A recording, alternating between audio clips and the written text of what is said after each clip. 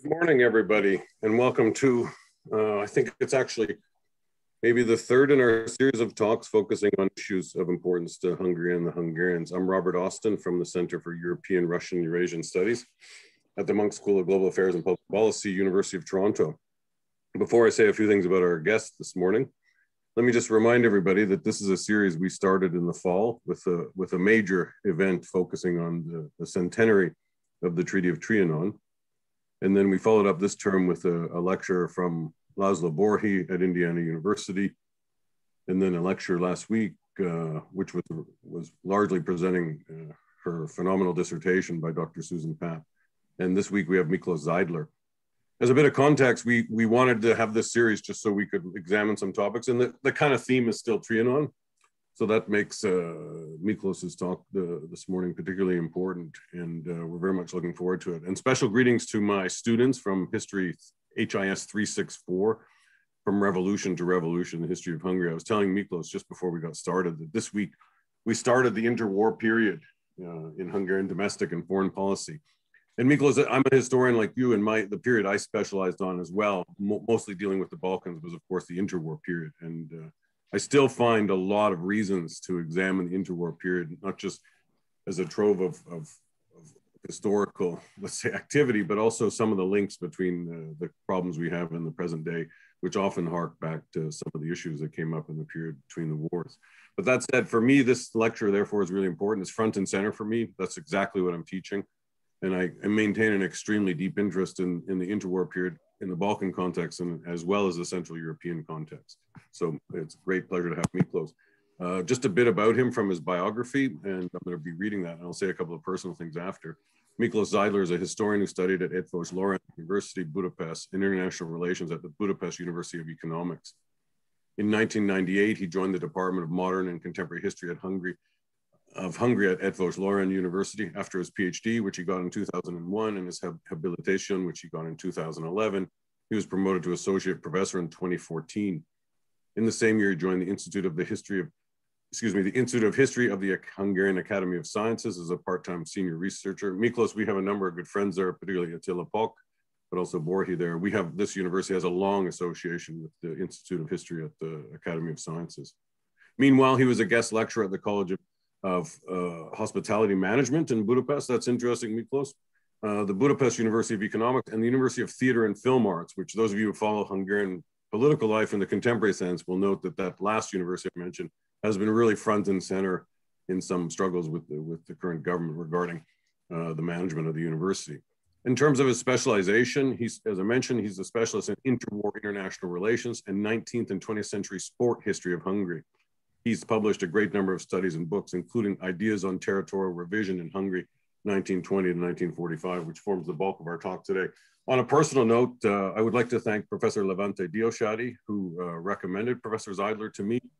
He gave me a number of names, which we followed up on for, for, for the series we're running. In normal circumstances, Miklos would be here in Toronto. And just before we got started, I, I assured him that I'm hoping, not hoping, we will be having him visit us in Toronto next year and I look forward to seeing Miklos in Budapest. I anticipate being there the latest in December. Miklos uh, is going to talk for about 50, 55 minutes. Then we're going to have our question and answer uh, where you use the, the Q&A box. So Miklos, you know, virtual welcome to Toronto uh, and greetings to one of my favorite cities, which is Budapest. And uh, the, as people say, the virtual floor is now yours. So over to you. Thank you very much for the uh, kind invitation for all the professorial staff and the technical staff and uh, the students around. It's really a great, great pleasure uh, to be here online and it's a great honor uh, that you have me uh, on this program. And uh, the following is an overview of Hungary's foreign policy between 1918 and 1945. In order to keep the time limit, I'm going to read my lecture accompanied by 44 slides of a PowerPoint presentation. I'm going to discuss five subjects ranging from the breakup of uh, the Austro-Hungarian monarchy and the origins of independent Hungarian foreign policy throughout uh, through the bilateral and international relations uh, of Hungary during the 1920s and 1930s, to the period of the so-called territorial revision, when Hungary regained almost half of the territories she had lost after the Great War, and finally to the Second World War in which Hungary aligned with the, great, with the Axis powers. Um, the main task of every foreign policy is to secure the sovereignty of the state by creating a network of international relations which guarantees its independence and territorial integrity. Within such a network, a whole set of bilateral and multilateral political, economic, and cultural contacts can be maintained, which makes partners interested in respecting this sovereignty, while opponents are discouraged to jeopardize it. A similar function is attributed to militaries, which, by the demonstration of a deterrent armed force, intend to make state sovereignty unquestionable.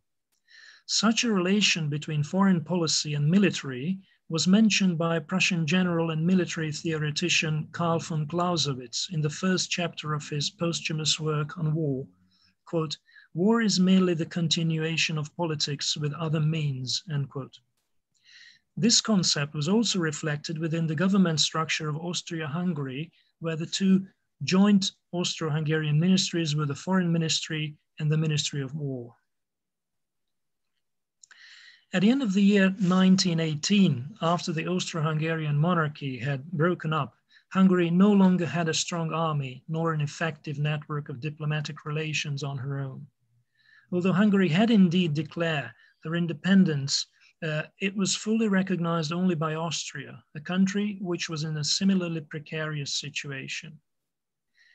Defeated, shattered, isolated, burdened with internal minority conflicts and surrounded mostly by aggressive neighbors who demanded territories and war reparations, Hungary was helpless to defend the sovereignty over her territories, either by force or by ways of diplomacy. For 13 months since, since November 1918, subsequent governments were unable to secure the victorious powers officially recognize the existence of the independent Hungarian state. The lack of international recognition, just like excommunication in the Middle Ages, practically marked Hungary as a prey, a country which could be invaded by its enemies without having to face sanctions of international law.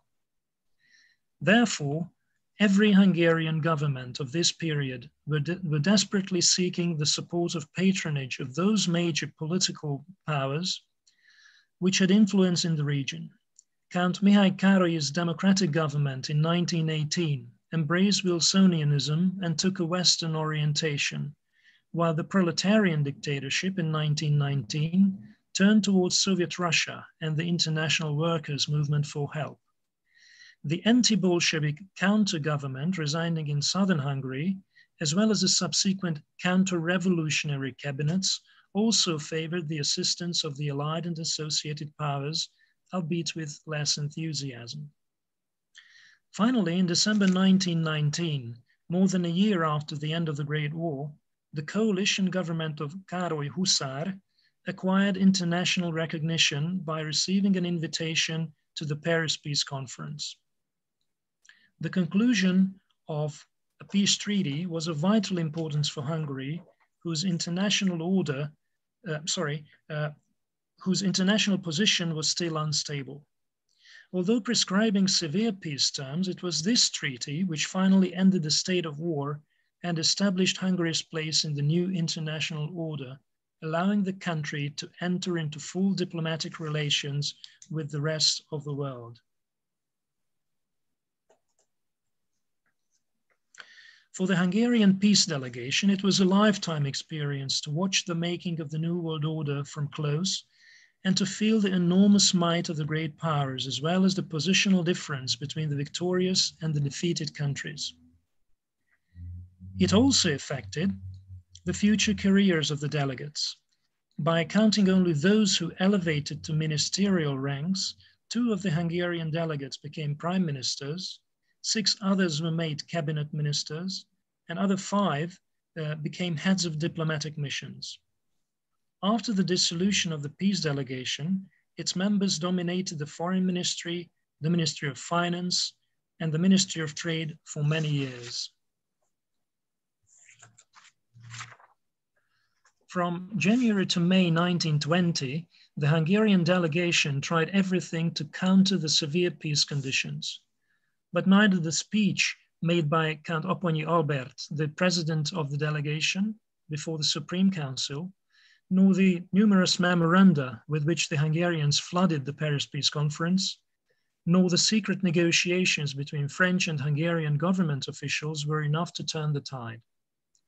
Although the British, the Americans, the Italians, and the French all showed some degree of interest and sympathy towards Hungary, they were not ready to significantly modify the peace terms. But for Hungary, there seemed to be no real alternative to signing the peace treaty. At the end of a two-day discussion in March 1920, the majority of the Hungarian peace delegates agreed to accept the treaty in view of potential reprisals. It was generally feared that instant diplomatic isolation and an economic blockade would be inevitable, and that another military occupation might follow.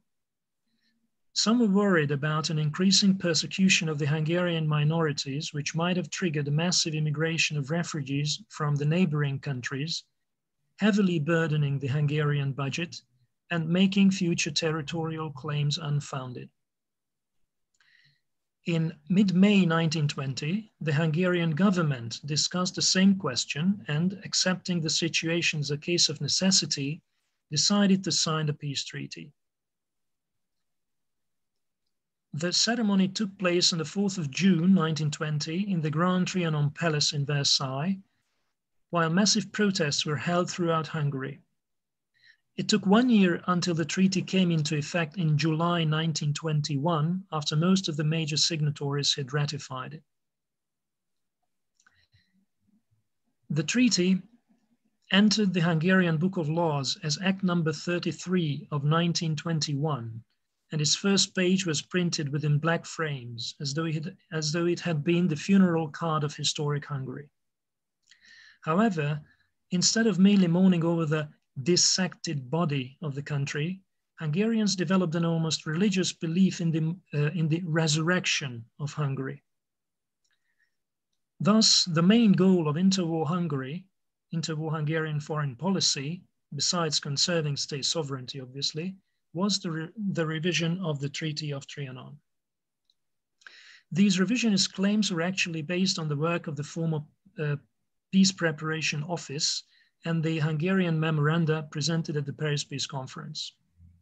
This material contained detailed argumentation and an immense database designed originally to convince the peacemakers assembled in Paris. Now it served the revision of the peace treaty. The documents of the Hungarian peace delegation were considered so important that Prime Minister Pál Teleki, a renowned geographer, and the former head of peace preparations, soon had it published in three languages. Each version contained three large volumes of text and statistical data, and also a box of maps. The English and the French versions were dedicated to the decision makers of the great powers, while the Hungarian edition, besides being a kind of guide to revisionism, tried to convince Hungarian public opinion that the peace delegation had done its best in defense of the country. During these first post-war years, the staff and framework of the new Hungarian diplomacy was also being set up. The organization of a new Hungarian foreign ministry started uh, in November 1918. Its staff was recruited mainly from among the younger, lower ranking diplomats of the Austro-Hungarian Joint Ministry, and completed by other state officials and intellectuals with outstanding language skills. The very few higher ranking diplomats of the Ballhausplatz, that is the address of the headquarters of the former Austro-Hungarian foreign ministry in Vienna, Ballhausplatz. So the higher ranking diplomats of the Ballhausplatz who finally decided to continue their career in the Hungarian foreign ministry had typically been hesitant during the revolutionary period and joined the staff uh, only after the fall of the Hungarian Soviet Republic. No wonder that the capabilities, the foreign contact networks, and the prestige of the Hungarian diplomats left initially a lot to be demanded, which was quite a disadvantage in the international arena. According to their political vision and attitude, we might identify two major groups of Hungarian diplomats. Those inspired by the Ballhausplatz mentality mainly belonged to the old school and did not easily realize or accept Hungary's decline and continued to view diplomacy from a great power point of view.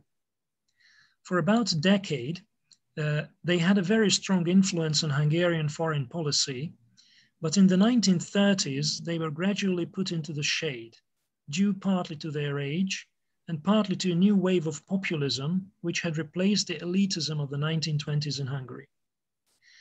The old guard was increasingly overshadowed by a new generation of 48ers, a reference to the mid 19th century revolutionary independentist movement.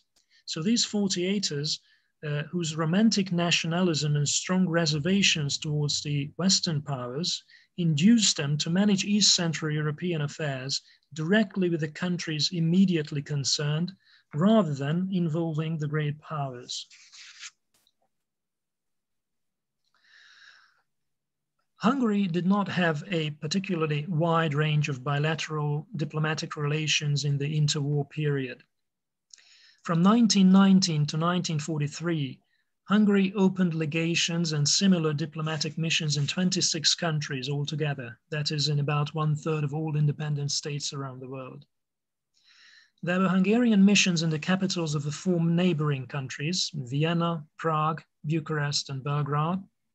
Of the four real and the two self appointed European great powers, Berlin, London, Paris, and Rome, as well as Madrid and Warsaw and of seven other European states joined by Moscow uh, in 1935.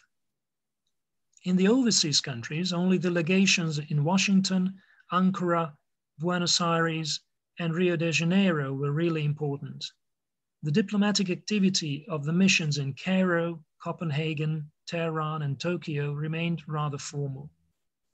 Besides these, Hungary also maintained a legation at the Holy See, that's the Vatican, and a representation at the League of Nations in Geneva. Interwar Hungarian foreign policy can, can be divided into two parts. The 1920s were characterized by Hungary's integration into the New World Order, which was gradually replaced by a challenge against the European status quo in the next decade. The governments of Pál Teleki and István Bethlen considered the consolidation of Hungary's international position and the establishment of solid diplomatic relations as their principal task. Challenging the status quo was not on their immediate agenda, although their long-term goal was indeed the revision of the peace treaty. Political isolation, economic difficulties, and the constant pressure and occasional military threat by the Little Entente, founded in 1920-1921, urged Hungary to secure her sovereignty in every possible way, even by crossing the barriers of traditional alliances and obtaining the goodwill of the victorious great powers. As a result of this cautious foreign policy and the simultaneous internal consolidation during the Bethlen government, Hungary soon found her place in the new European order. There were only two major issues in which Hungary confronted uh, with the great powers. On the one hand, Hungary refused to evacuate the so-called Burgenland, uh, the German populated area of Western Hungary, some 1500 square miles, to be attached to Austria.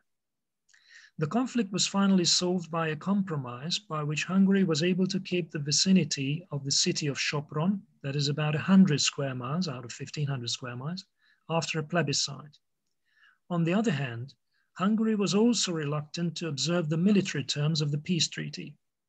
Initially, the Hungarian officials had shown considerable ingenuity in sabotaging the work of the Allied Military Control Commission, and after its departure, they began to increase the number of Hungarian troops and arms beyond the limitations imposed by the peace treaty. These two cases demonstrated a certain readiness on the part of the great powers towards a more lenient execution of the otherwise rigorous peace terms, as well as the limits to their flexibility. Thus, in the first half of the 1920s, Hungarian diplomacy was reduced mainly to the unspectacular but necessary everyday matters, working on the establishment of bilateral contacts, entering international organizations, expanding foreign trade relations, securing foreign loans, and recruiting influential pro Hungarian spokespersons, all in order to improve Hungary's international prestige and always with an eye to the future revision of the Treaty of Trianon. According to uh, the late memoirs of the young Hungarian diplomat, uh, Aladár Szegedy-Maszák, leading Hungarian foreign politicians hoped to create a kind of uh, revisionist alliance from the early 1920s onwards, with the participation of the defeated Central Powers that is satisfied Italy and, all ideological differences aside, the isolated Soviet Union.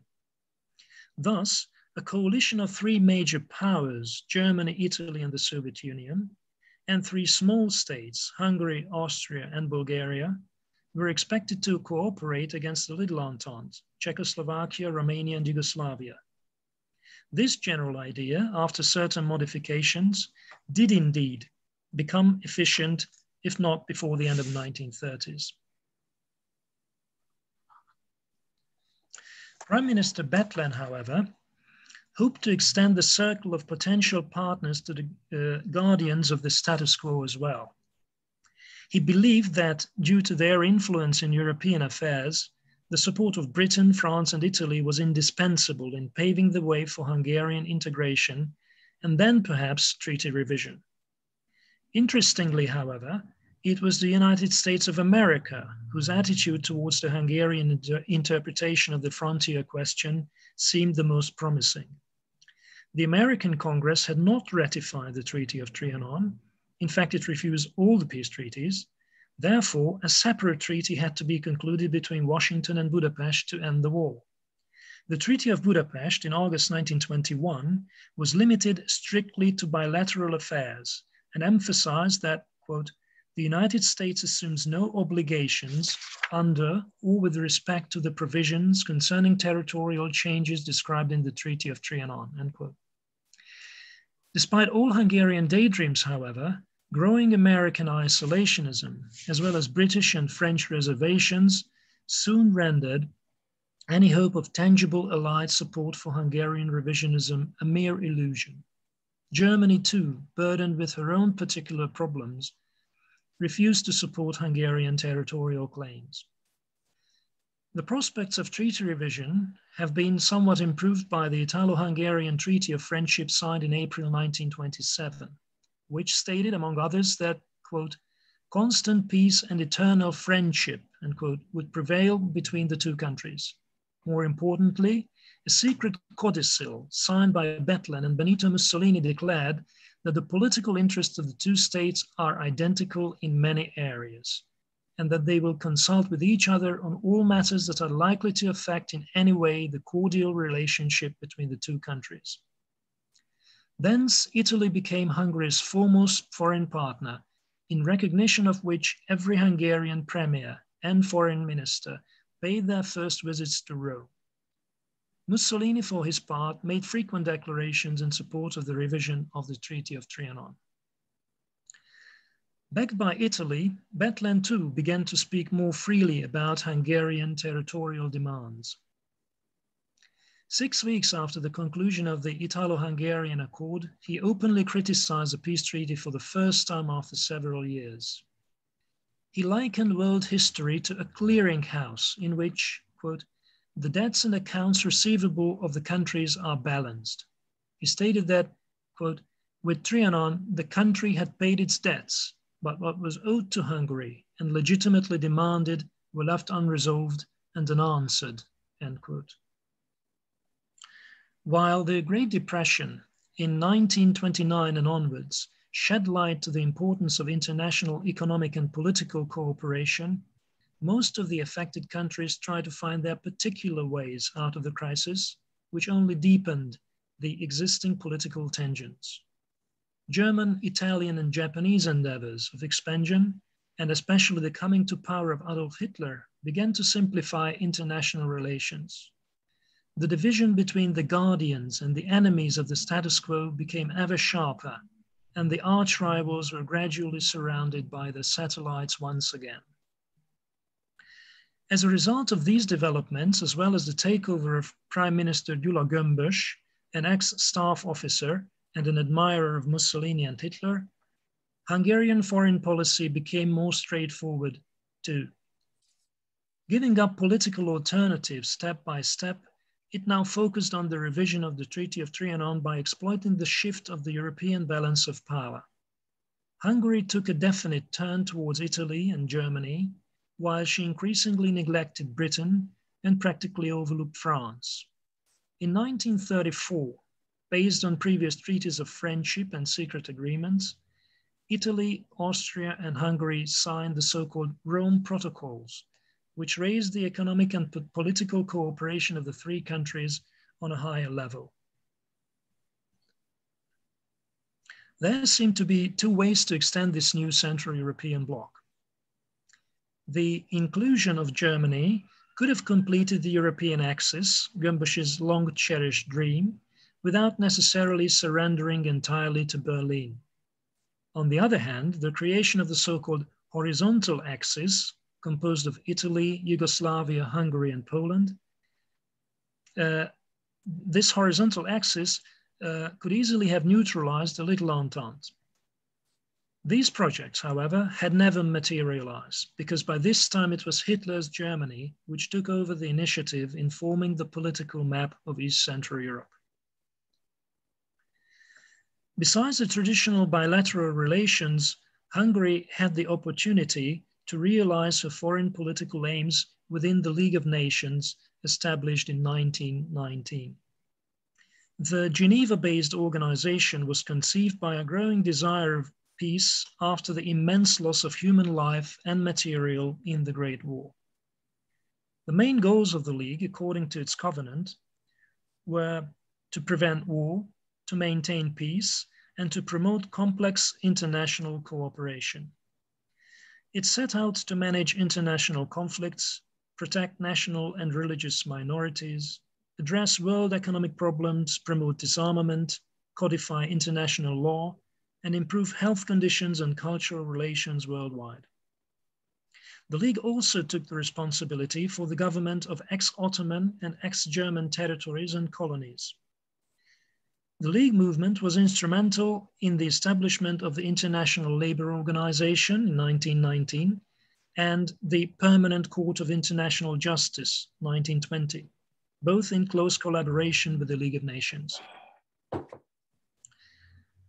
The League was founded by 32 states, the so-called original members, recognized as victorious powers after the First World War.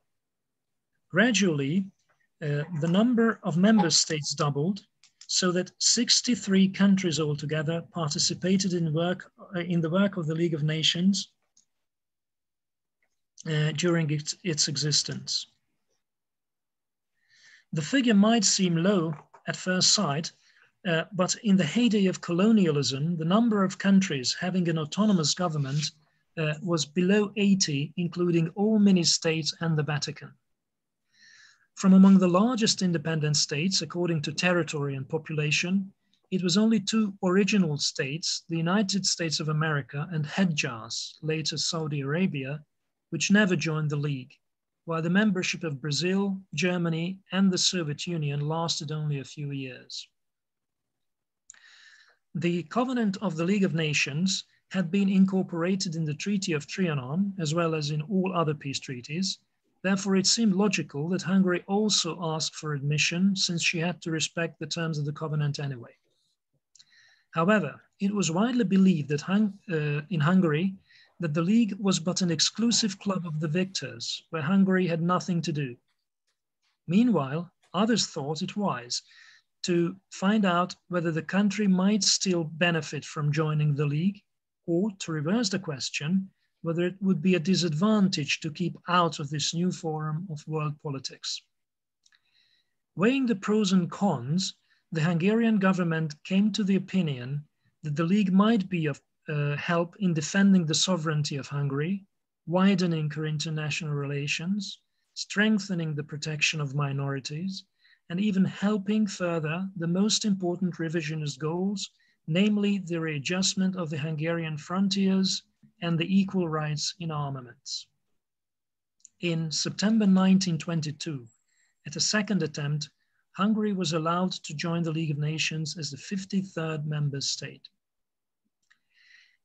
Immediately, Hungary demonstrated great vigor in defending her particular interests before various forums of the League, especially in the cases of the delimitation of the new frontiers, the protection of Hungarian minorities, the Hungarian-owned railway companies operating in the detached territories, and the organization of an international loan to consolidate Hungarian economy. Among the 44 different political issues discussed by the Council of the League of Nations, Hungary was an interested party in six, and only on one occasion was she the passive party. No other member state had more cases before the Council. In addition, approximately 100 Hungarian minority petitions were received by the League of Nations, second only to those of the German minorities, by far the most active national group to present their complaints in Geneva. On the other hand, Hungary showed little interest in the more general issues in the League, such as political, legal, economic, cultural, social, humanitarian, and health cooperation, unlike other small countries uh, like Ireland, the Netherlands, and the Scandinavian countries. The cases of utmost importance for Hungary were closed with mixed results. The loan organized by the League in 1924 helped Hungary consolidate her post-war economy. And the Hungarian citizens whose lands had been confiscated in the Little Entente states finally, re finally received some compensation. The delimitation of the Hungarian frontiers, on the other hand, produced only the most minimal rectifications. And out of the 100 minority complaints, only three were redressed by the League. The disarmament conference, where Hungary asked for equality in armaments, ended in a stalemate in 1933, while the question of the revision of the, tre uh, of the Treaty of Trianon was not placed on the agenda at all. As early as the mid-1920s, Hungarian critiques of the League of Nations began to voice their dissatisfaction, urging the government to leave the organization. Even Teleki and Bethlen were thinking about abandoning the League. At this time, however, political sobriety advised against such a move, which would have increased Hungary's isolation without improving her chances to defend her interests. Later in the 1930s, the gradual alignment of Hungary with the Axis powers finally alienated Hungary from the League, and in April 1939, following the example of Japan, Germany, and Italy, Hungary also left the League of Nations. As previously mentioned, revision was the principal slogan in interwar Hungary.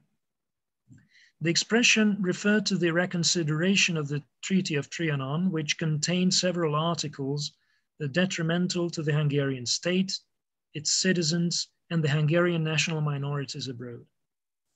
Such unfortunate regulations were the introduction of the new frontier line, the limitations imposed on the army, the new rules for foreign trade, the takeover of certain state and private properties in the detached territories, the regulations concerning the citizenship of Hungarians living in the detached areas, as well as the payment of reparations and other war dues.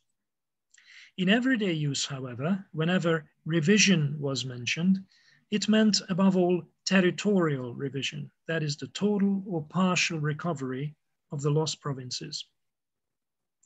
As far as the actual Hungarian revisionist claims were concerned, concepts and opinions varied.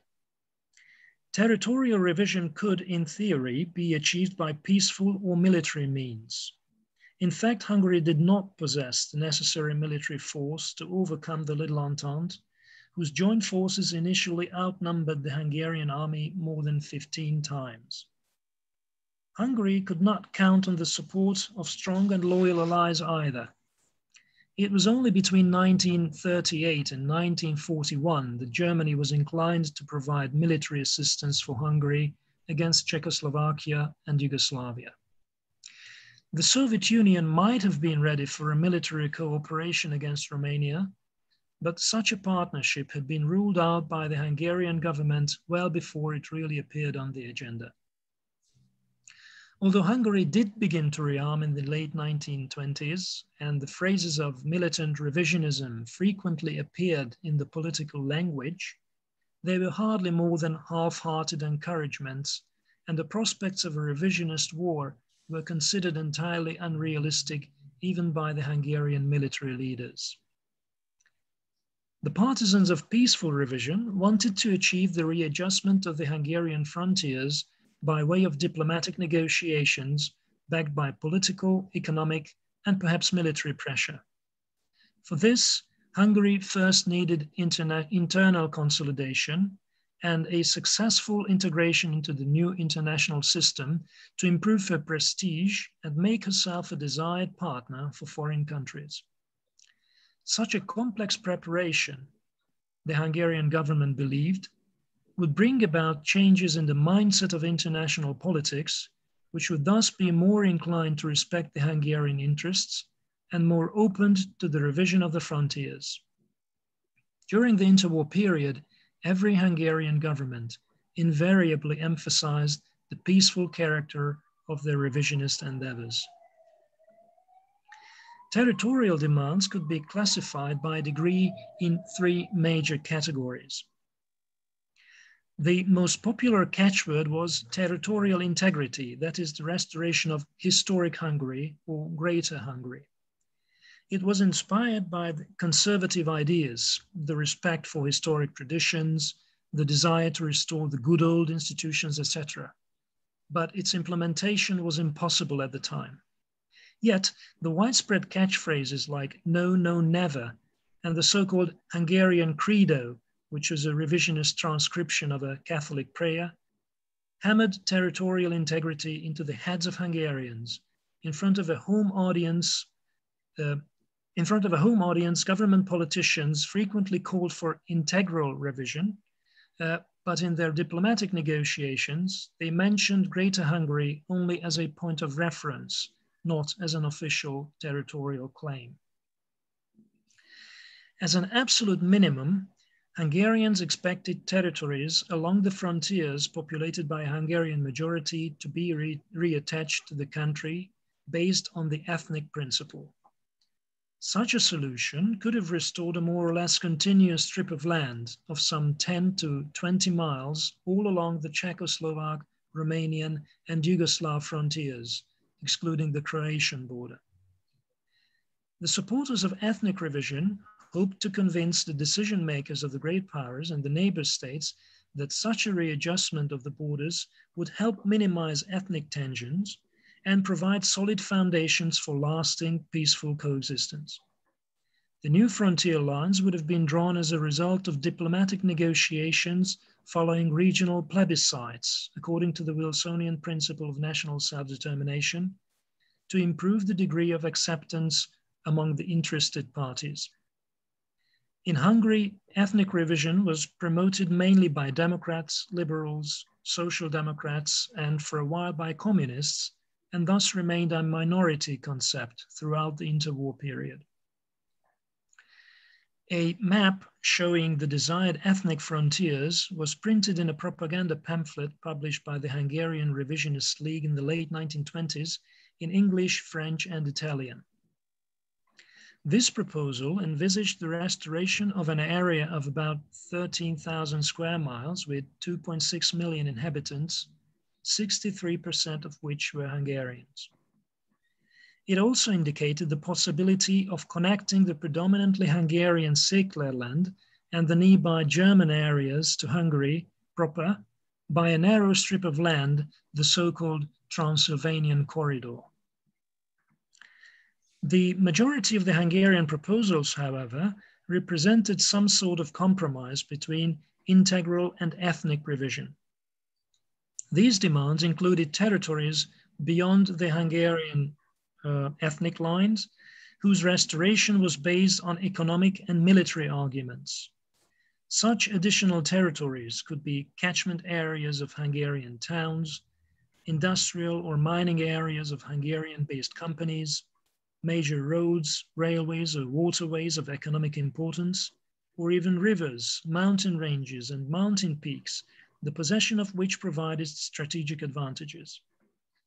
Or it could be an entire province, like Ruthenia, whose economy, according to Hungarian arguments, was largely dependent on the wood export directed to Hungary and the summertime employment of Ruthenian agricultural workers in the Hungarian Great Plain. Such a complex proposal was prepared in 1934 by the Press and Cultural Section of the Hungarian Foreign Ministry based on Prime Minister uh, Gyula Gömbös's instructions. The desired new frontier went well beyond the Hungarian populated territories, included economically important areas, and followed the line of major waterways and dividing mountain ranges to provide more defensible frontiers for the country. Gömbös's plan was intended to almost double the territory of Hungary and add 6.7 million people, only a quarter of them, however, being Hungarian.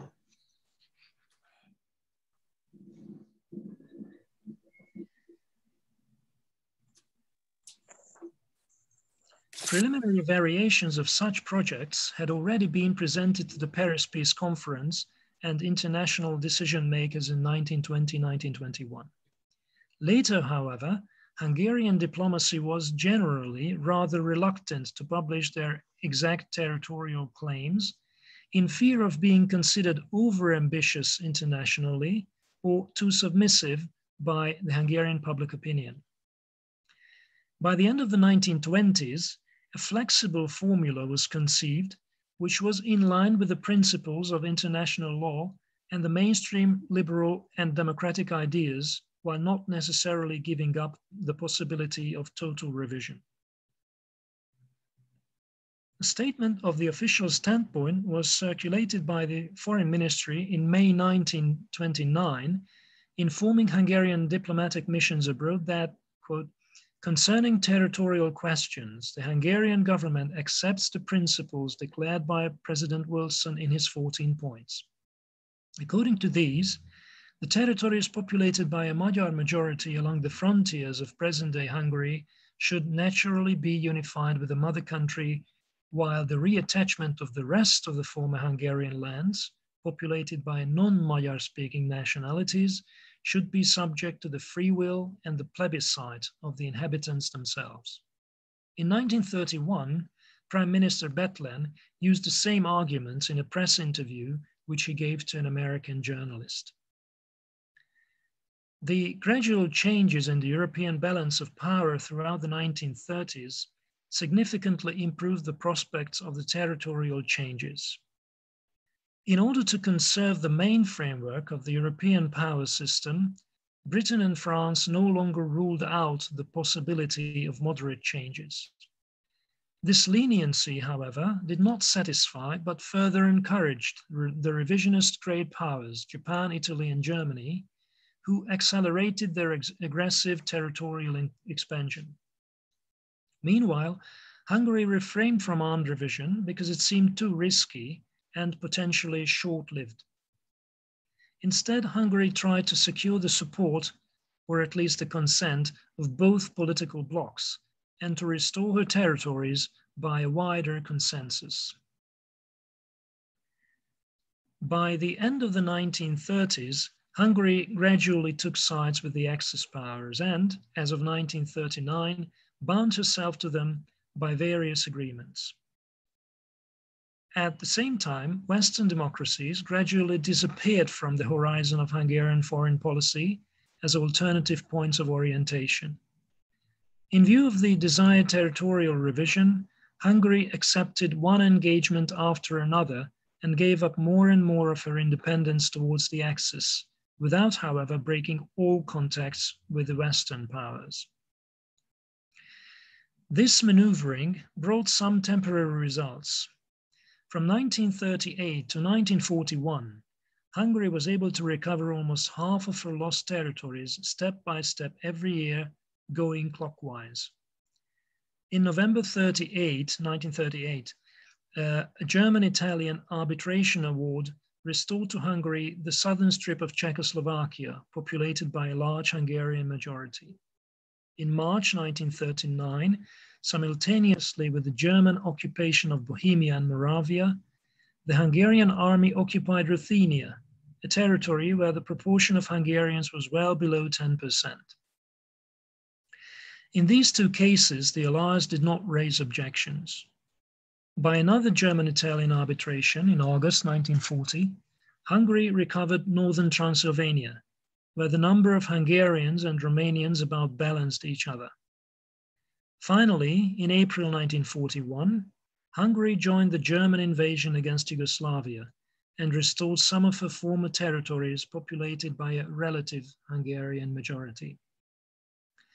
The Allies refused to recognize these last two territorial changes and in April 1941, London went as far as to break diplomatic relations with Hungary. Despite being burdened with all the negative consequences of being defeated in the First World War, Hungary managed five times to recover parts of her lost territories from all of her four neighbors by exploiting the international situation. It was certainly a great success in itself. As a, result of the substantial growth of territory and population, 90 and 60% respectively, Hungary greatly improved her economic and military potential, not to speak about national self-esteem. Most of the Hungarians populating the Carpathian Basin had been brought under the protection of the mother country.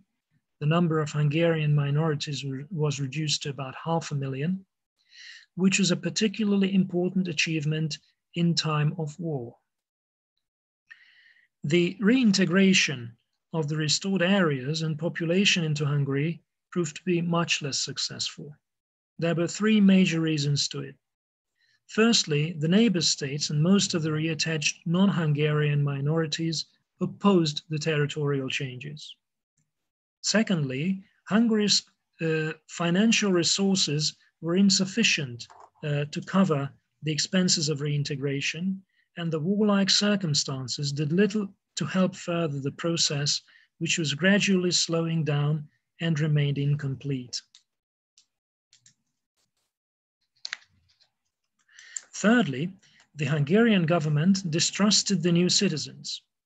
It considered the new national minorities, about 15% of the whole population, a potential threat to be controlled and even discriminated, which in certain cases resulted in deportation. The authorities were likewise doubtful about the reliability of the reattached Hungarians due to the alleged effects of two decades of denationalization they had been subjected to in the neighbor states. Meanwhile, the territorial changes triggered several waves of emigration to and from Hungary, which affected more people than the dissolution of historic Hungary 20 years before. However, the greatest problem for Hungary created by territorial revision was the deterioration of her international position. Becoming a satellite of the Axis imposed limitations on Hungary's diplomatic maneuvering abilities and state sovereignty. Prime Minister Pál Teleki had declared Hungary a non-belligerent state in September 1939, at the time of the German inv invasion of Poland, but the government was unable to maintain her semi-neutrality until the end of the war. In November 1940, Hungary joined Italy, Germany, and Japan in the Tripartite Pact to express her gratitude to the Axis powers for their support in the previous territorial readjustments. As a member of this military alliance, Hungary could not keep up her non-belligerent status for long. In June 1941, as a response to an aerial assault by Soviet bombers, Hungary entered the Second World War. By mid-December 1941, the country was at war with the United Kingdom and the United States as well. While Hungary was, according to the words of John Flournoy Montgomery, a former American minister accredited to Budapest, a reluctant satellite of Nazi Germany, she nevertheless sent troops to the Soviet Union repeatedly. The Hungarian government soon realized the risk of another major defeat and tried to maneuver the country out of the war. The secret talks, however, carried out between Hungarian representatives and allied agents aiming at a separate armistice took a long time to be completed. In September 1943, a low-ranking Hungarian diplomat uh, received in Istanbul the conditions of an armistice which were to come to force once the British or American troops had reached the frontiers of Hungary. This, however, never happened. Instead, it was the Soviet Red Army which invaded Hungary, Hungarian territories from September 1944 onwards. By this time, Germany, duly informed by the secret negotiations, had already occupied Hungary in March 1944 to prevent Hungarian desertion and secure the country's resources for the war effort. On the 15th of October 1944, an Hungarian armistice to be concluded, concluded with the Soviet Union was disrupted by the German occupying forces and pro-German Hungarian officers who wanted to continue the war against the Soviets.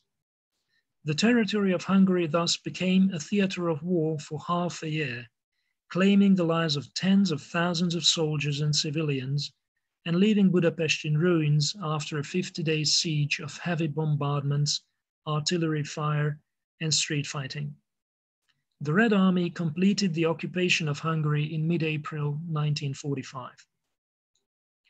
The loss of almost a million people more than half of which were Jewish victims of the Holocaust, and the massive destruction of Hungarian towns claimed more lives and caused more damage than had the First World War.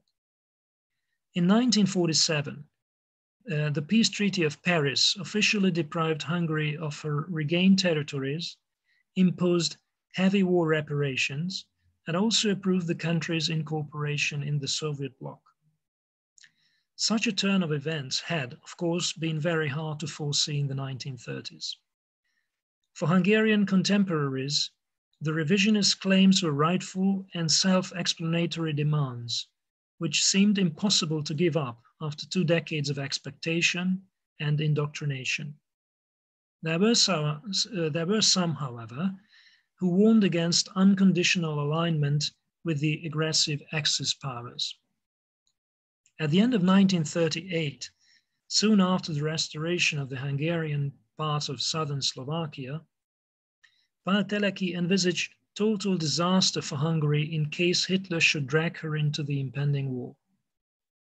But he concluded his speech with a rhetorical question, quote, who has the strength to rid the public opinion of a nation from a single ray of hope promising a happier life after 20 years of unjust humiliation legal deprivation, and misery, end quote.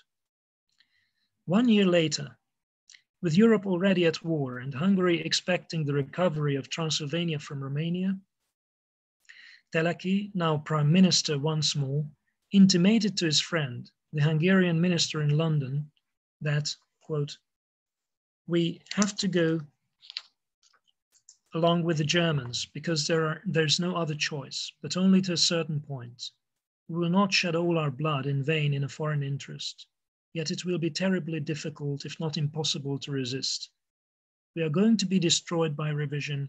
That is what is going to carry us into the war. If Transylvania comes back, we shall be eternally obliged to the Germans, and they will demand a price for it. The price will be to go to war on their side, and thus the country itself will be the price of revision. And this is the end of my lecture. And thank you very much for your attention. And of course, I'm ready to answer uh, whatever questions you have. Thank you. Professor Zeidler, Miklos, uh, absolutely brilliant and incredibly comprehensive. I'm, I'm sitting here thinking, oh my, my students are lucky today. And because well, thank you very much. Finished on Wednesday, you know, a much more um, or let's say much less detailed assessment of the period from let's say 6,000 feet uh, mm-hmm. and brought us right down onto the ground and uh, mm-hmm. appreciate it. So we've got, I get some questions by email and I get some questions on the Q&A. But ladies and gentlemen, we have about 30 minutes for, for a conversation. I might get it rolling, Miklos, if you don't mind. Mm -hmm. And there's my student, Peter Farkas, uh, is saying, excellent. Uh, Peter, if you can hear me, you almost always ask a question. So feel free to put a question in the, in the, in the, in the Q&A tool because I want, I'd like to give the students uh, uh some priority here because I always stress that. Sure. Can, can I say something in advance? Of course you can. Uh, I'm more than ready to to uh, send you the text of my lecture for further use. Oh, I'd love that. It is, if you think it is a good uh, uh, educational, if it has a good educational value, it's, it's no problem. Absolutely, Miklos, because I told the students about the talk, I said, look, you're going to learn a lot here. And, you know, students can be, you know, I, I welcome pragmatism. You know, they study for exams. Mm -hmm. Okay, good. Uh, you talk, because for me, the interwar period, like this is the fundamental, like how does Trianon not just impact Hungarian foreign policy, which you covered, as I said, incredibly comprehensively, but also how does it impact Hungarian domestic policy because they're intertwined. Yeah, absolutely. Okay, it's agreed. Then I'm going to send the text to you and then you disperse it among the students, is it? Yes, that's what I would do. I would post it on our course website. And the, and the talk will be available, of course, uh, to rewatch because it covers everything. And as I said, it's, a, it's the best survey uh, of the period. And those quotes at the end are, particularly uh, daunting. i have always emphasized to the students the role of uh, Paul Teleki. And, uh, you know, he was quite prescient in, in understanding what the price of, of this would be in the end. And we all know what he felt or how he felt when, when Hungary decided to take part in the invasion of Yugoslavia, right? which cost them dearly later. So I'm going to go first to I have a question, Nicholas, but I'm going to go to an old friend and colleague, John Stanley, who wants you to say a bit more about Polish-Hungarian relations in the interwar period.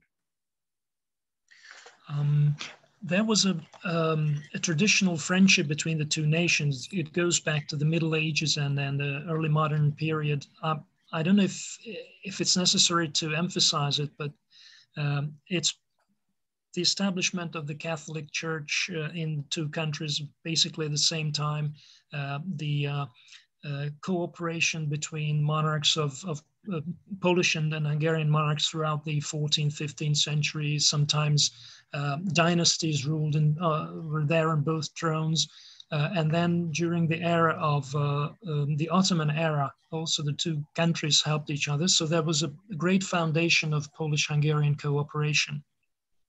Now, after the First World War, it seemed logical that Hungary and Poland should cooperate once more uh, based on this uh, traditional friendship. The problem being, uh, however, that uh, Poland could uh, be only thankful for her own resurrection to the Paris Peace Treaties, while Hungary was uh, uh, put into the grave by the same Paris Peace Treaties. So Poland could not really help Hungary uh, upset the Paris peace treaty system because it would have jeopardized her own existence, at least in theory.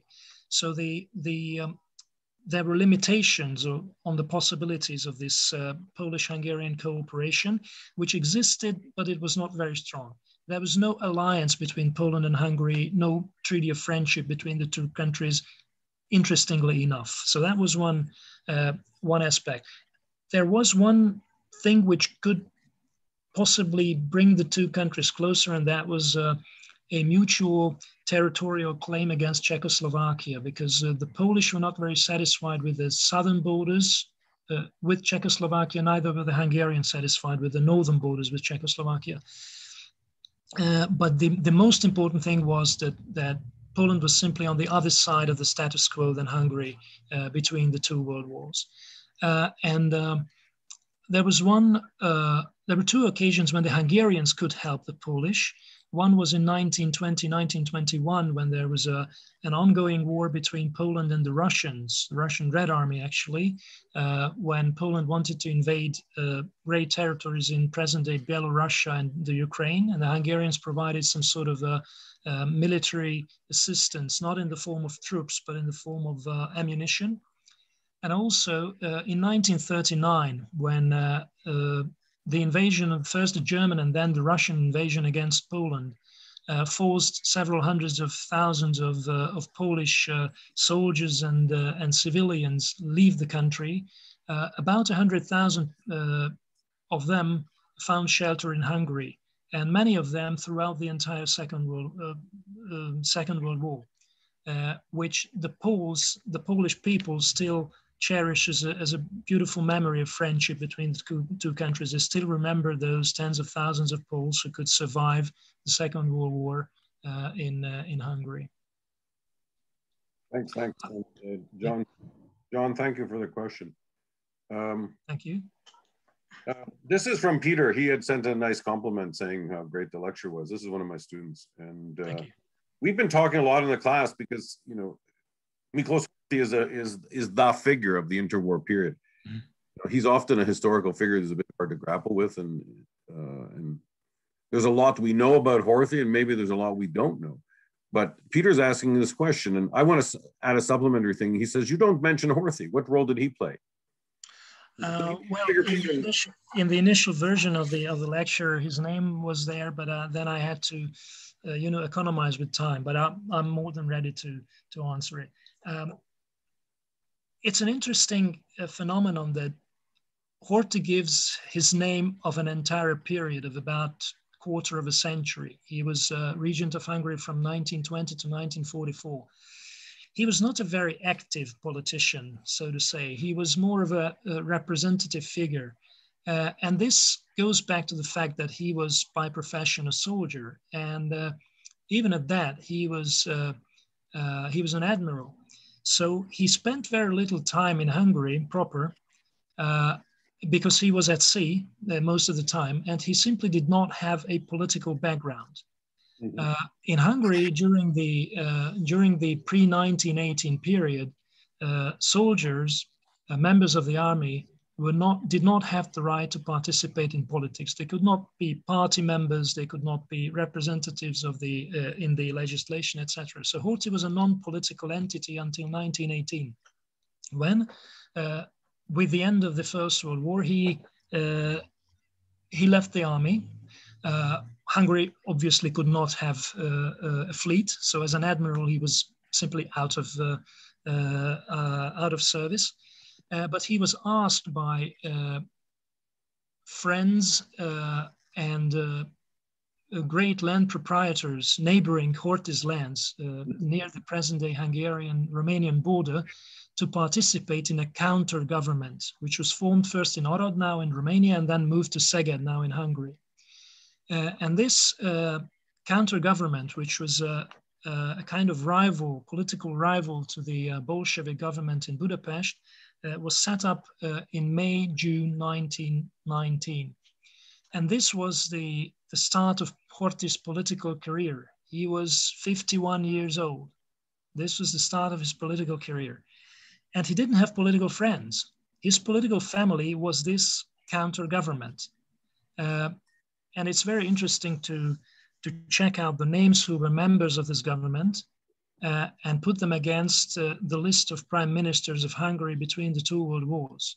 I'm not going to, to um, bombard you with names, but I can tell you that from 1920 to 1936, and then from 1939 to 1941, all the Hungarian prime ministers were included in this counter government of 1919. That is to mm. say, the first political friends of Horthy. So this much influence, this small group of people uh, had on Horthy.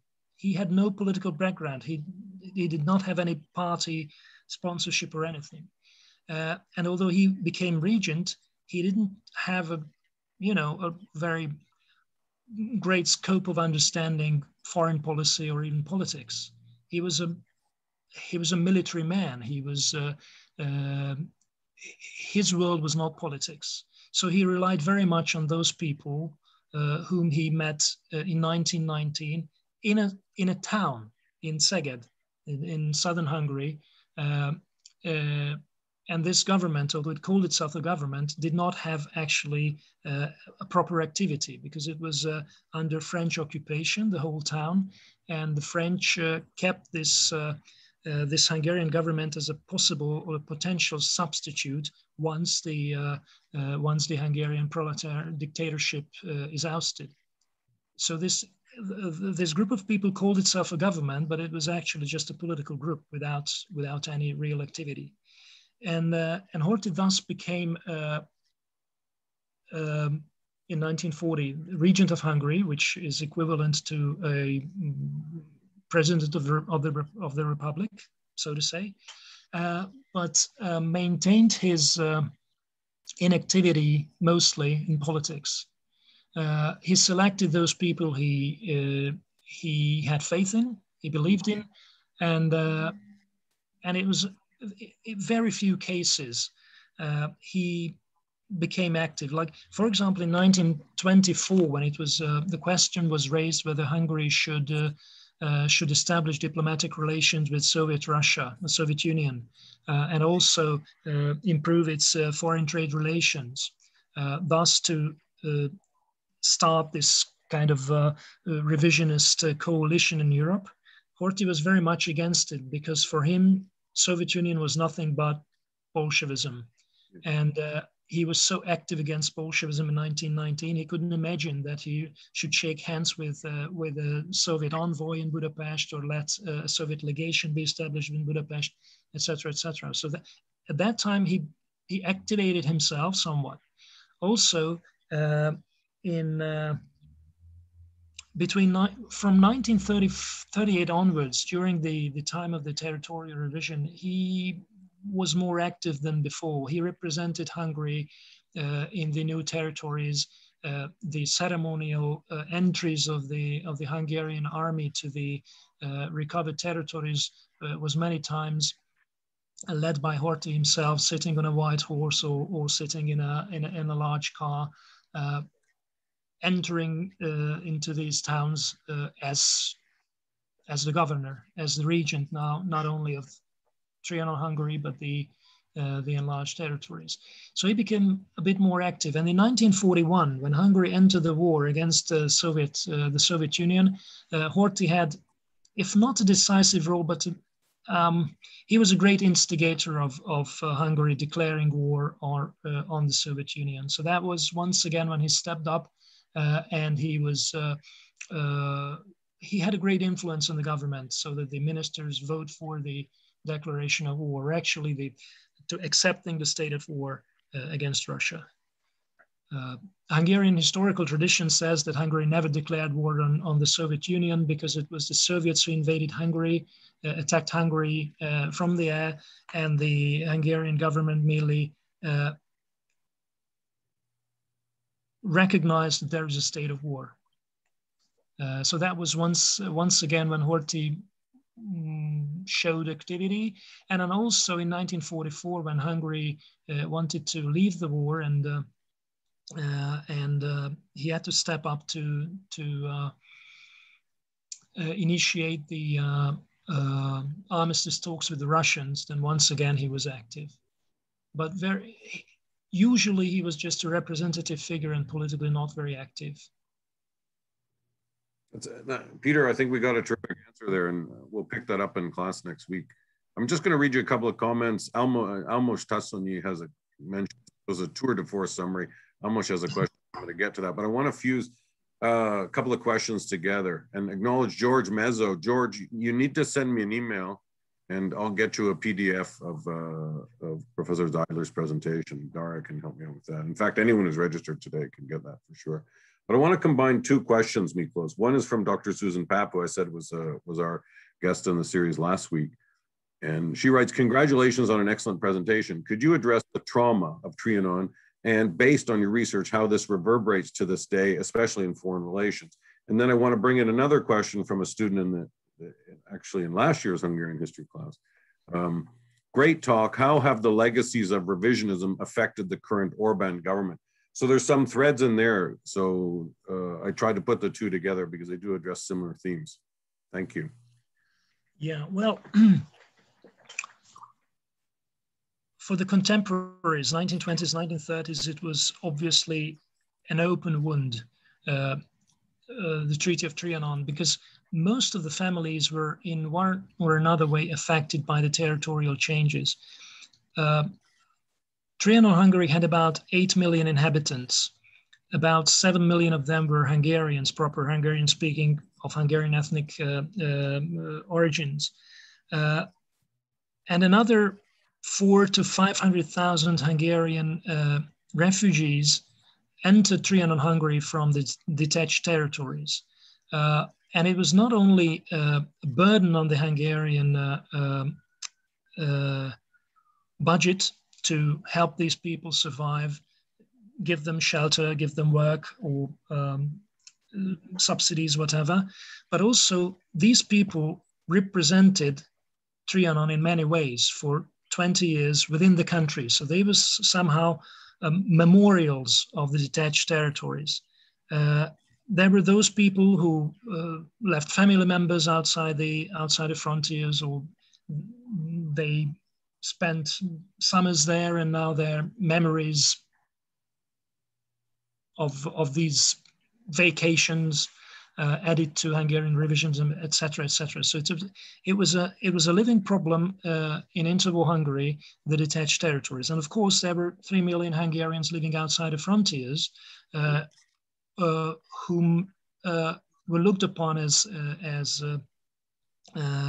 people who were discriminated against and who was put upon, with whom the cultural connections and even perhaps the political connections were to be maintained. The Hungarian government spent a lot of money to uh, to sponsor the Hungarian parties abroad, etc. So that, there was a some sort of contact, cultural and and uh, political contact between Hungary proper, or Hungary, and the uh, Hungarians uh, uh, of the detached territories.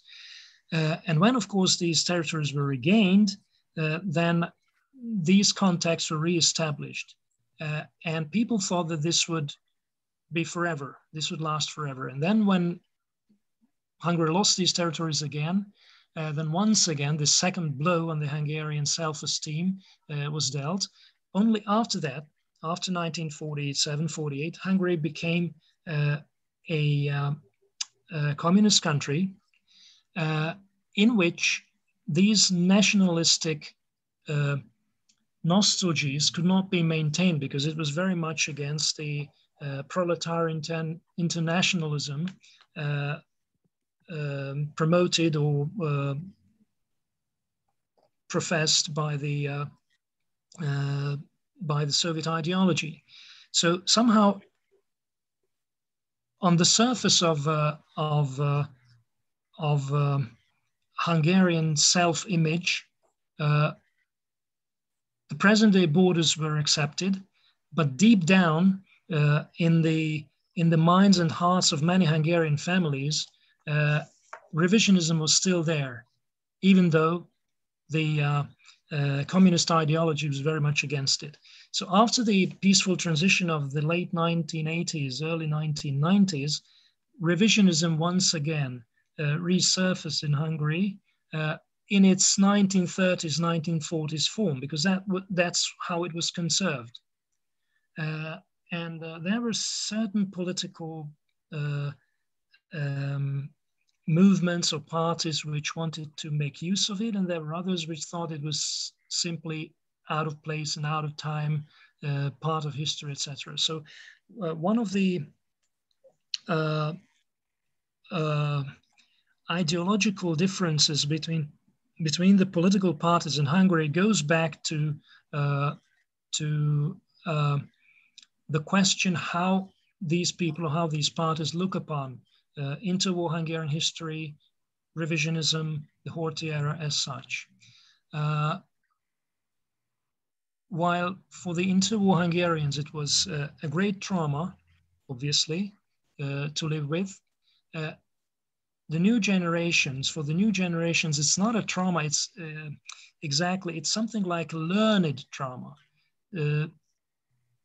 We learn about it in school, obviously, uh, when we learn history and literature and even uh, music classes, geography classes. Uh, also, there is a trend of remembrance through the family memories, but it is a learned trauma. Uh, so for new generations, uh, it's a, it's a, there is a distance between the actual happenings and the and the present day feelings. Uh, as for the question whether the Hungarian government or parties uh, are uh, uh, playing with the idea of potential territorial revision, I would say no, because now Hungary has uh, even more uh, more neighbors than previously. Hungary now has seven neighbor countries. Uh, the number of the Hungarian minorities had decreased uh, in the uh, foreign countries. Now it is less than two million Hungarian uh, ethnic Hungarians in the in the neighboring countries, as opposed to more than three million between the two world wars.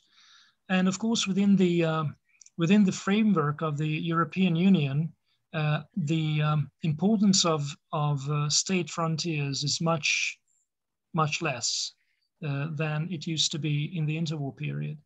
Uh, so we belong basically to the same political camp uh, and also the same war camp because most of our neighbors, or well, some of our neighbors are members of the NATO as well, North Atlantic Treaty Organization.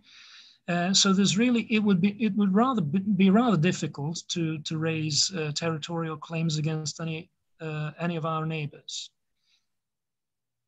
Uh, I'm sure, uh, on the other hand, that some politicians cherish such ideas, but it's not on the government level. we know of politicians who have and and are still talking about Hungary's just claims and claim justice for Hungary, uh, but they are not uh, government politicians. So that, that is my answer to the question. I think that's a, a, very comprehensive answer, and thank you very much. I'm going to go now to Almos Tassonyi, who's a colleague at the U of T and a friend as well. He always, Almos always brings us back to these core financial issues, and I appreciate that. So here's Amos. Can you comment on the fiscal crisis of the 1930s and its implications for foreign relations? The fiscal crisis? If you think of, well, let's call it the economic crisis of the 1930s. And how, oh, crisis. Oh, okay. yeah, right. Economic, fiscal, you know, the catastrophe of, of the 1930s. Yeah, yeah, yeah. No, no, I heard prices and I didn't understand that. Yeah. Right. Okay. Uh, so the, uh, basically the question is how the how the uh, the Great Depression or the uh, world economic crisis affected the Hungarian revisionism. Yeah. Well, foreign relations more generally, but yeah, yeah, yeah. Yeah, well, it was it, it was very interesting because Hungary was, uh, of course, uh, from the end of the 1920s when it was backed by Italy, and there were some uh, British and French uh, influential less influential politicians and essayists who raised the question of revision. So there was a sort of literature of revision already uh, uh, circulating in the world. Uh, the um, the Great Depression shed light to the to the great problems of uh, of Europe, where these uh, when, when Europe there was there were, there were more than 30 states uh, uh, divided by frontiers, and these frontiers were also rather difficult uh, economic or trade frontiers as well, with very high uh, tariffs. Uh, and the one of the ideas was that political borders should be maintained, but the tariffs should be reduced, so that something like economic borders should be abolished, but political borders should be maintained. And uh, ideas were about the re-establishment of the former, more or less the former uh, uh, frontiers of uh, Austria-Hungary as an outside frontier. And inside it, economic frontiers would be demolished or tariffs would be reduced to very low uh, degrees, while of course the, uh, the uh, political frontiers would be maintained. So that these areas, which used to be economically complementary areas, uh, one producing uh, um, um, agricultural goods, the other is stronger in, uh, in, in industry, the third is, I don't know, provides uh, capital, etc., etc. So this kind of uh, trade and economic cooperation should be re-established between the countries. Between the countries belonging uh, to the former uh, uh, Austro-Hungarian monarchy. Or there was the idea of the uh, German-Austrian uh, um, customs union, mm -hmm. 1931. and um, of course, those countries who were the beneficiaries of the of the status quo uh, after this uh, after the First World War did not want any changes because they thought that maybe the abolition of economic frontiers would bring about the abolition of the political frontiers. Uh, but the Hungarians were also not very happy with that because they thought that if the economic frontiers will be abolished and everything is going to be all right, then there will be no need for the abolition of the political frontiers. So, funnily enough, both sides, uh, and now I'm going to simplify it, both Hungary and the Little Entente countries were pretty much against any intermediary solution because the Hungarians thought it's too little and the Little Entente countries thought it too much uh, change uh, in the status quo. And it's very interesting. Uh, it's not hung, it's not a question of Hungary, but I think it, it's a very interesting question how the great powers responded to a problem. Uh, the the problem of the um, Austro-German uh, uh, customs union, uh, which was raised in 1930, as far as I know, and while the Anschluss, the political union of the two countries, was banned by both by the Treaty of Saint-Germain concluded with Austria and the Treaty of Versailles concluded with Germany, uh, a customs union could be established. There was no, uh, no uh, impediment uh, in uh, international law against such a thing. But of course, everyone remembered what happened in the 19th century when uh, the German unification started with the establishment of the Zollverein in the early 1920s, when the, when the economic frontiers between the German principalities was abolished, and voila, 50 years, and there is the German Empire. So nobody wanted, uh, nobody, well, except for Germany and Austria, nobody wanted the, the, the customs union of these two countries. And uh, the French and the British brought the question in front of the, uh, uh of the International uh, uh, Court in The Hague. And that was a draw when the when the international lawyers uh, when the international jury um, uh, voted, and it had to be the president of the board to decide, who was an Italian, and he voted against it. So the the question of whether there should be uh, a kind of uh, economic Anschluss between Germany and, uh, and uh, Austria in 1931 uh, was decided by just a single vote of an Italian who was, of course, politically uh, very biased against, against the Greater Germany. Um, so there were very intensive thinking about how the uh, how the problems, the economic problems, could be overcome without the political changes. Uh, but then in 1933, uh, the so-called four-power talks, um, uh, which started between Germany, Italy, France, and Great Britain. Uh, they started sometime in, in March and ended in July with the uh, with the uh, signing of the uh, of the four power treaty. Uh, then the question of certain territorial changes also emerged, and one uh, area where the British, especially Churchill, saw the possibility of of a territorial readjustment was the city of Danzig, the corridor linking uh, uh, Danzig to Poland, dividing uh, East Prussia and West Prussia. And the other was uh, Transylvania, with a mixed population of, uh, of uh, Hungarians and Romanians. so suddenly in, uh, in March, April 1933, the Hungarians uh, saw in the newspapers, in the British and French and other newspapers, that there's a chance that there, there's going to be, or maybe there will be, a territorial revision on the eastern frontiers.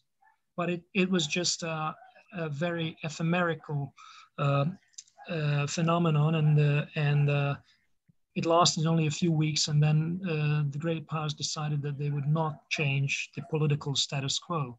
But that was the first real chance for Hungary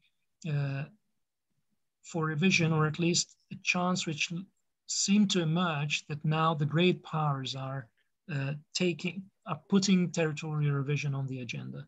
But it, it lasted very, very shortly.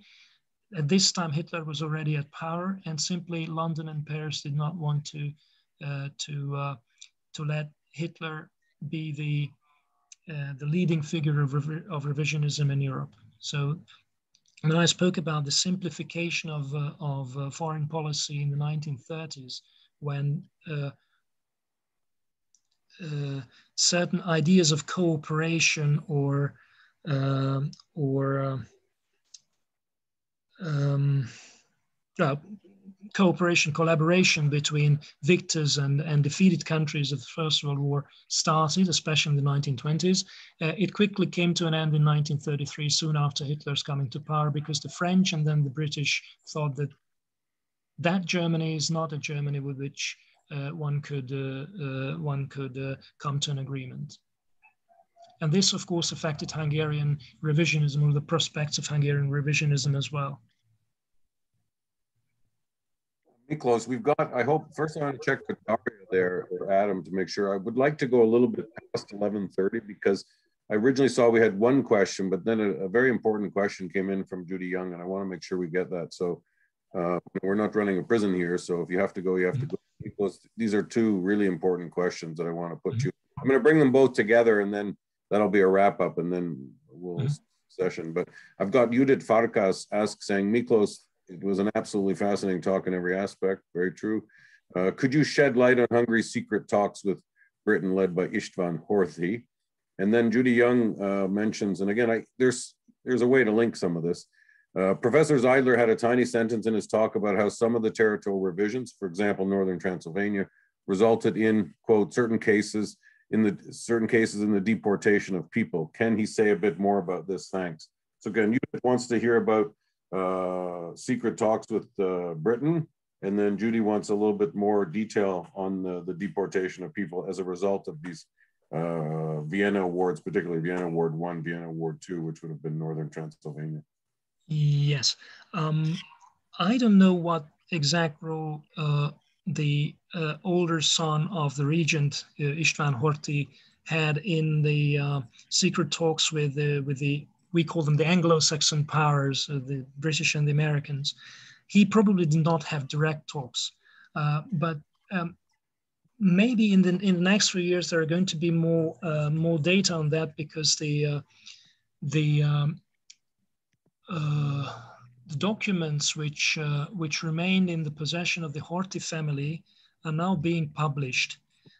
it's not entirely clear in what order they are going to publish and to what extent their documents, but it certainly had, uh, had been started.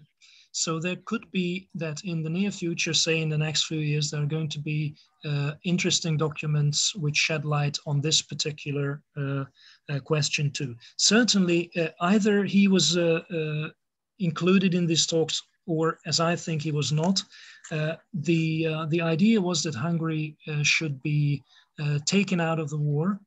Uh, this idea actually emerged at the very end of 1941. So practically in the days when Hungary uh, uh, uh was at at war with with with the United Kingdom and and the United States, she already wanted to to get out of the war.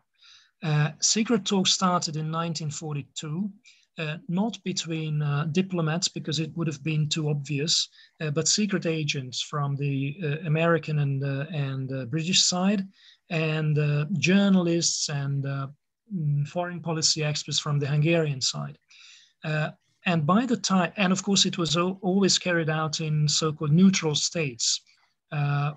If, if, you know the, um, the, the great film Casablanca, mm-hmm it's it's obvious that in, in countries where uh, for example, Hungary and uh, and uh, the United States and uh, and Hungary and uh, Britain uh, severed diplomatic relations. So there's no diplomatic talk anymore.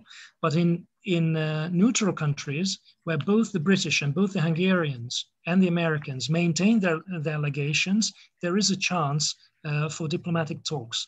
Uh, so therefore, during uh, wartime, the importance of uh, neutral countries is always, uh, uh, always greater. Portugal, in a way, Spain, Sweden, um, Switzerland, and Turkey, interestingly. and it was exactly in Turkey, in Istanbul, where a, a low-ranking Hungarian diplomat who went there to uh, the cover story was that he went to Turkey to, to buy uh, old Ottoman uh, uh manuscripts referring to the Hungarian, uh, the invasion of Hungary in the Middle Ages. he actually went there to, to meet the American consul in Istanbul. and it was this consul who, who um, gave him the, um, the terms of a secret separate armistice with which uh, this young diplomat came to Budapest, showed it to the government. They agreed that the terms are acceptable. Uh, but of course, Hungary had to wait until the uh, uh, until the British or the American troops reached the Hungarian borders so that they could lay their arms in front of them. Until the, the enemy uh, uh, has not approached uh, the frontiers, there was no way an armistice could be concluded because the, the case of Italy showed who, announced the armistice without uh, waiting for the American troops that simply the Germans invaded northern Italy uh, and uh, uh and defended the, the northern part of Italy for more for almost a year. So Hungary did not want to be occupied uh, by the Germans after a, a, a premature announcement of the of the armistice.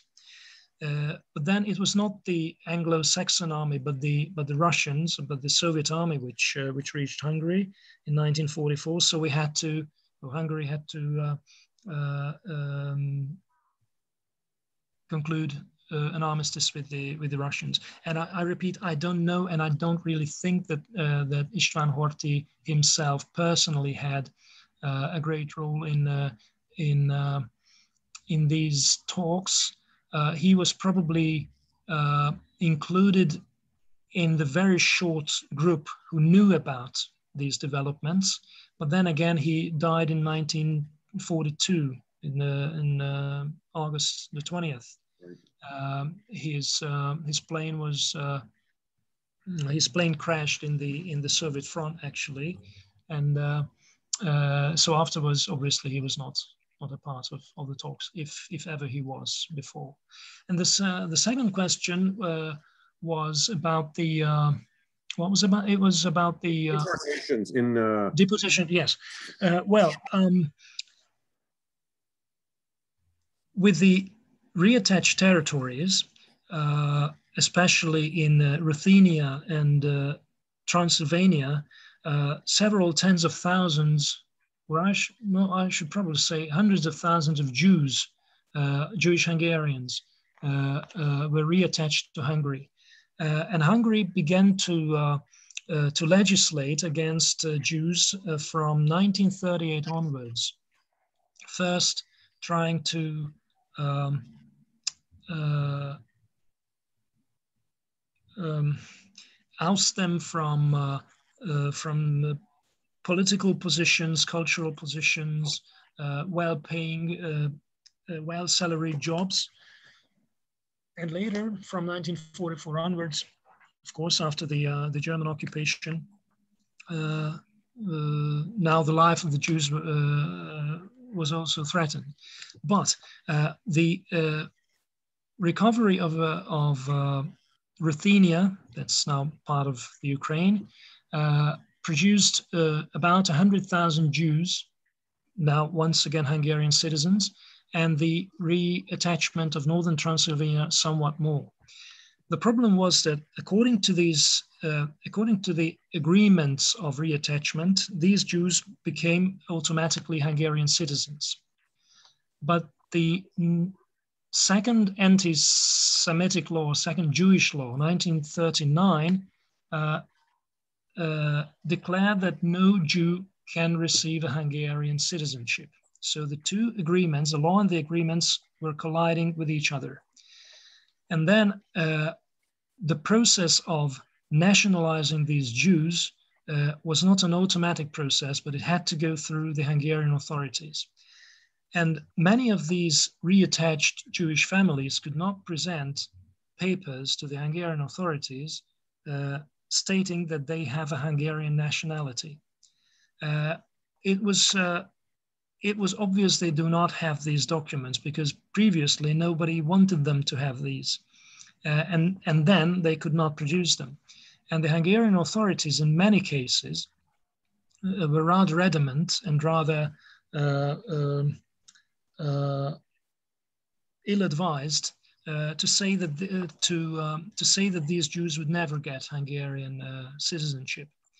And in 1941, uh, a large-scale deportation of those uh, people who did who could not produce citizenship papers in Hungary started exactly at a time and at a place when when and where the German troops invaded southern Ukraine. So deportation started in July to territories of southern Ukraine, which was actually a theater of war between uh, Germany and Soviet Russia. Uh, and this heartlessness of the Hungarian authorities to, deep, to deport these Jews, either of Hungary, Hungarian origin or not, uh, resulted in uh, their being uh, caught practically between two fires because they were deported in a theater of war. And uh, at least 20,000 of these Hungarian Jews were killed by the German troops there who did not want to take care of these additional people problems, especially Jews. Uh, and then the Hungarians stopped deportations. Uh, it's not exactly clear whether they were uh, appalled by their own heartlessness uh, or it was on the, uh, uh, it was because the Germans asked them not to deport people to their territory, which was now under German control. Uh, however, uh, Hungary lost about 20,000 Jews uh, in the summer of 1941, deported from Hungary and killed in, uh, in Ukrainian territory. and some of these people were not from Ruthenia, but from northern Transylvania. So both from territories acquired from Czechoslovakia and from Romania, there were several thousands of Jews who were killed in 1941 uh, because of the uh, of the uh, uh how shall I put this heartlessness or, or uh, over rigidity of the of the Hungarian authorities uh, and uh, due to the uh, to the German army, uh, which uh, uh, got rid of these people. And then, of course, there was a second phase of dep deportation from May 1944 onwards, which was now directed to the to the um, work camps and extermination camps uh, under German control. Uh, and the number is much higher. It's uh, somewhere around 440,000 Hungarian Jews deported to these concentration camps. And as far as we can estimate, about three quarters of them became victims of the uh, of these extermination camps. So somewhere around 300, 50,000, maybe even more, uh, died in these concentration camps. So there were two, two waves of deportation, one shorter scale uh, in 1941 and the large scale as part of the Endlösung really in 1944. Well, Miklos, we're about 10 minutes over time, but I'm really glad that we did it's that. It's not a problem with me if uh, if there are still questions and, uh, and students are ready to. Okay, I'm gonna, you know what I'm gonna do? I have another meeting, but I'm gonna take one more question because she's a former okay. student. She's a former student and I haven't seen her name in such a long time and her, and I was so happy to uh, see it. So I'm gonna read it to you. First off, thank you for such a wonderfully detailed talk. Given that Orban has sought to cultivate better ties with regional leaders, do you believe COVID became almost an indirect opportunity for the rather restrained commemorations of Trianon this summer so as not to further provoke political tensions? Okay.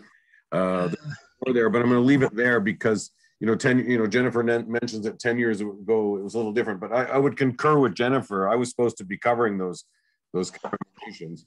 Um, you know, 10 years ago was a little bit different, but what do you think? COVID, uh, different attitude because it was quite, it was, it was a little bit calmer than what we might have expected from the current government. It was much calmer, and uh, seeing from here, uh, and I think, yeah, this is this is the uh, uh, this is the truth that this was a, a glorious escape uh, for the government. Uh, uh, it's, it's always difficult when you want to, to do something, whether you're talking to your own audience or whether you talk to a foreign audience. And obviously, the, the home audience would have, uh, would have liked something, mm, something richer, something um, uh, more nationalistic, maybe, especially uh, the, uh, the, the, the great, the basic supporters of Fidesz and the Hungarian right would probably wanted um, greater commemorations, more statues, etc.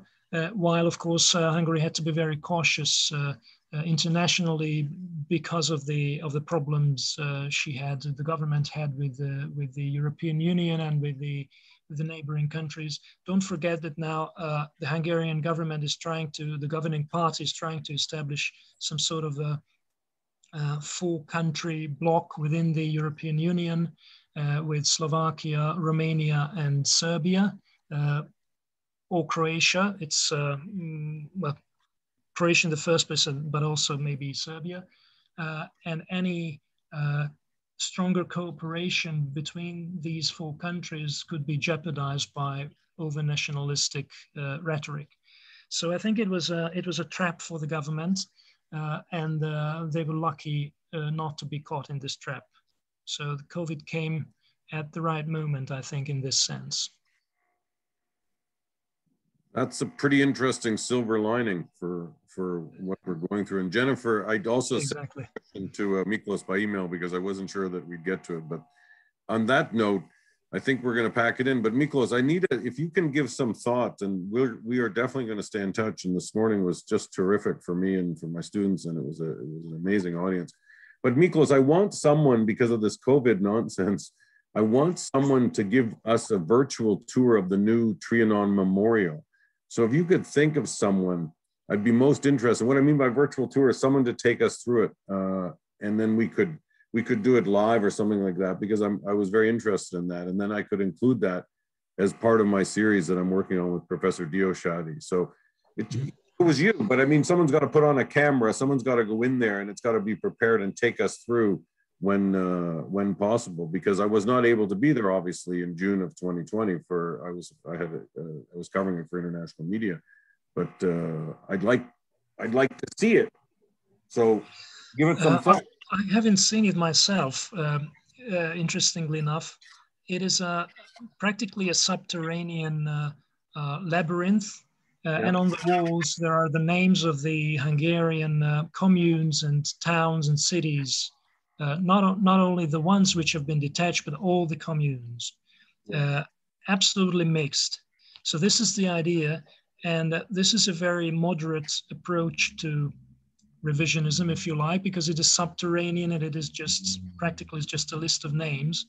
Uh, interestingly, not list of people, people's names, but a list of, uh, of towns, towns names.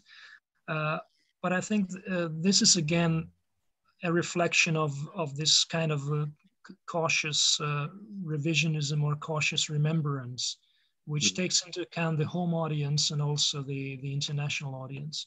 Uh, as far as I know, someone, I don't know if, if it was uh, if it was an independent uh, journalist or whoever, or it was the government which uh, which actually filmed the whole monument I think they used a drone, but I, uh, I'm trying to find it on the internet. And if not, then I'm, let's keep in touch and we'll try to find out who might help.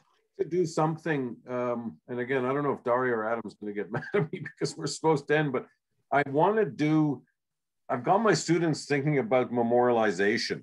And this is something we're working on very closely in our class. I would like a presentation, and if it's you, great. I would like someone to look not just at that memorial, but overall Trianon memorialization within Hungary, because there's there's more to it than than the than the centenary memorial. And I think that's a very interesting topic for this series. And again, I, I am sure Professor Diósady would agree with me and one of our other supporters, Tibor Fekete. So think about that and let's revisit it next week. And then it becomes very visual. Do you know what I mean, Miklos? Yep. And I know the students would enjoy it. Then they have a big paper due in April, so they do it sooner rather than later. But this morning was terrific. It was, you know, this afternoon for you. I hope that you have a nice weekend ahead of you, and that uh, you know that this. I know Hungary's uh, encountering a, a really third wave of COVID. So here in Canada, we're thinking about you. We see that Central Europe is is being battered by very harsh COVID conditions, not just Hungary, but Slovakia, very poor statistics, Czech Republic as well. Um, you know, I see a light at the end of the tunnel and I'm looking forward to meeting you in person, either in Toronto or Budapest.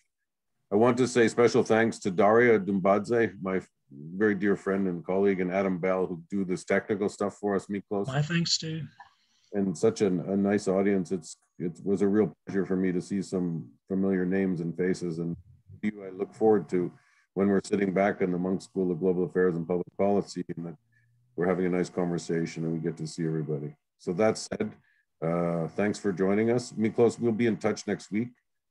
Have a terrific weekend, everybody. Uh, this ends this, and then Miklos and I stay on camera just for a bit so that uh, we, the Adam can make a clean cut to the thing, and it will be available to all of you who attended, and I'll get the slides to you and everything. Miklos, real pleasure for me. It really, really was a great way to spend the morning for me. Thank you. Thanks so for having me.